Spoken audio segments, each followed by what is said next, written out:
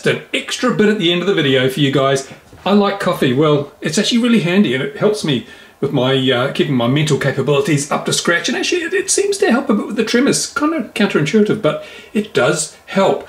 I don't know how it works, but whatever. So I like coffee. I like my coffee kind of strong.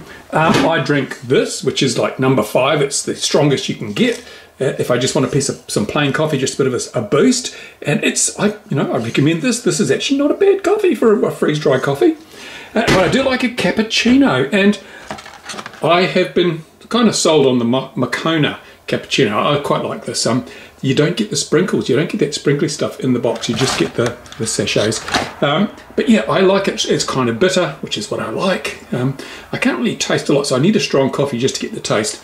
Uh, and it has sort of plenty of caffeine, and it's now even more indulgent, which has got to be great news. Um, I don't know what what does it say. It's about 100 and um, 165, no, 100, I don't know. It's got kilojoules in it. Anyway, so everyone needs kilojoules. Yes, you do. But I thought I'd try this out. Now, this is a sort of generic. It's what they call a select, is it? I don't know, but it's, it's a supermarket generic brand. And my goodness, that looks good, doesn't it? This foaming cappuccino. Where you get a little, you get a little um, shaker with the chocolate in it. So, oh, what more could you wish for? And it also has kilojoules. But you see, use a little shaker. um, there you go, it's got kilojoules. So I thought, yeah, okay, because this is norm. When, I, when this is on special, I buy this up sometimes about five bucks for a box of ten, which is like fifty cents a drink. That's pretty cheap, cheaper than going down to the local coffee shop. Uh, but this was not on special this week. It was six dollars something, which is kind of spendy uh, for someone on a budget. So I thought, I'll go with this. This was four bucks. How bad could it be? Oh dear. This is the worst coffee I've ever tasted. Honestly, I've not tasted anything worse than this.